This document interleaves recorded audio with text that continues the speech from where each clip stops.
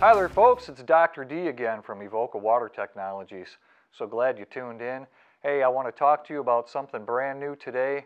Um, I've got something next to me here that I want to talk to you about, but first, as always, we want to be safe when we're around, around equipment and operating any of that. So let's put on the safety glasses, make sure we're okay with that. So I'm real excited today to tell you about this new unit that we have.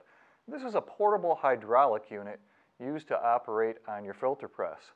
Now I'm sitting here next to a hydraulic uh, cylinder or hydraulic ram as some people call it. And this would be just like what you would have in your filter press. This is what closes the press and keeps it clamped close. Now sometimes you might have problems with your hydraulics.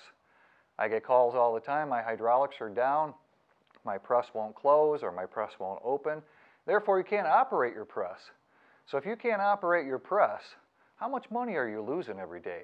How much money are you losing every hour by not being able to operate that press?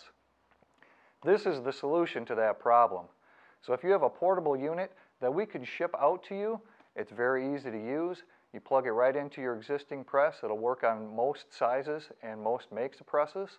So you just plug it right in and you can get up and running in no time.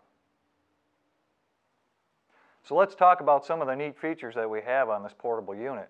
First of all, it's skid mounted so you can pick this up with your forklift and move it anywhere that you need to, preferably close to your filter press, so you can operate it.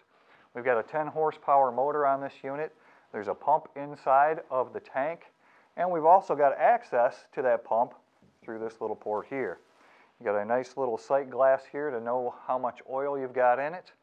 And then you've got your manifold block that has all your valves, your pressure switches, all your control valves, your relief settings, and a filter that's located right on the top. Neat thing about this filter, if any of you have ch changed the filter even on your car, take that filter off, it's full of oil and it spills all over the place. This filter's mounted upside down. So when you're ready to change that filter, it gravity flows out of there, you take this filter off, there's no oil in it. So it's nice, easy, clean, and easy to operate and maintain. So when you're in the situation where your hydraulics are down, and you need this unit, you just wheel it up. You've got your electrical connections and you've got your hydraulic connections. And we have racks on the back of this unit to hold those. Then you just come to your controls. You're going to obviously turn that on and you're going to select here the size of your filter press. So either it's large or it's small and it knows how much volume of oil to put into that depending on the size of your press.